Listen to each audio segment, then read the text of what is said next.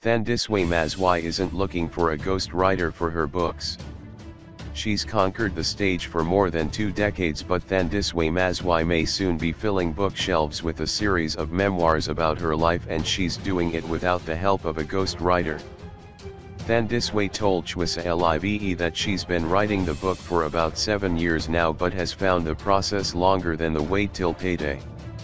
I started writing the book in 2011, when I lived in London and I have been working on it ever since. I don't know how people do it because it is taking me forever. I have written a lot of the story but the process is grueling. It is new to me to be so focused on things like spelling, I am a terrible speller. So, I feel that my writing isn't as beautiful as the people I look up to. Even though it is making her sweat. Thandiswa says she ain't about to hire a ghost writer. I don't believe in ghost writers.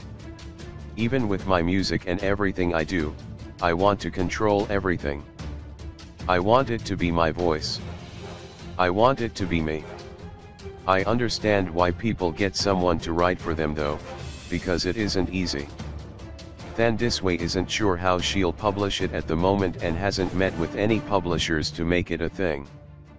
I am not working with a publisher at the moment because it was never meant to be a book, only a collection of memories. I haven't thought about how I am going to sell it. I am just focusing on writing it at the moment. It is a memoir, so it is a story that I know.